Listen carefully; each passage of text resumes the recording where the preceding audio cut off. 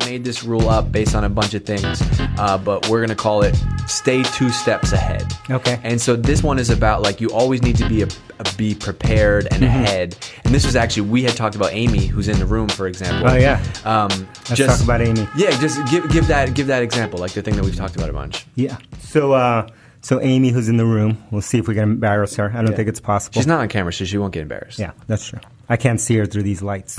uh, so Amy, I thought she recently went on vacation. Where'd you go, Amy? Italy. Italy. She went to Italy. Italy. Shout out Italy.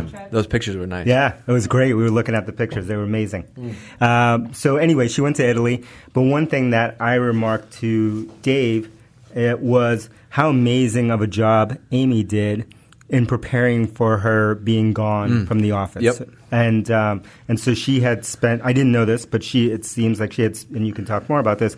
Spent time uh, working on a plan to make sure that nothing was going to be dropped while she was gone. And so while she was gone, of course, nothing was dropped. Everything kept going great.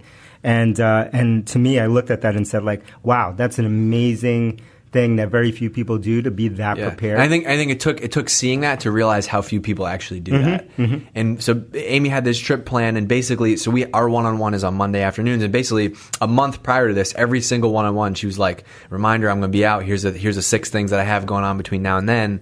And she just basically had wrote the whole playbook of like, "What do you need from me between now and then? What do you need from me between now and then?" And, and had the whole thing written out. And so she had you know she's a designer and marketer, so all her video content, designs, images, you know, everything was ready mm-hmm. and and scheduled, gone. Yep. And so she was out for ten days, and we didn't miss a beat.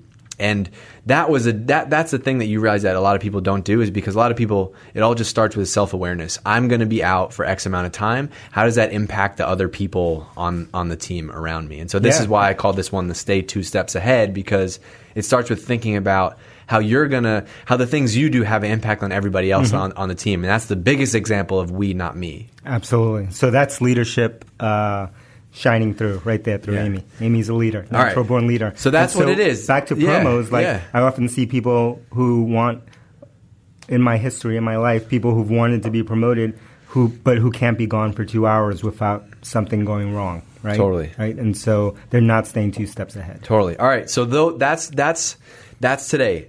DC's three rules for getting promoted: the 120 and six rule, do 120 percent of your job for a minimum of six months. Show it. Number two, show it before you get the title. You got to have people thinking that way before you actually get the promotion. And then number three, stay two steps ahead. You got to be prepared in order to get it. AKA the Amy rule. AKA the Amy rule. That's a Amy better rule. rule. That's That- a that's how you name. that memorable. Yeah.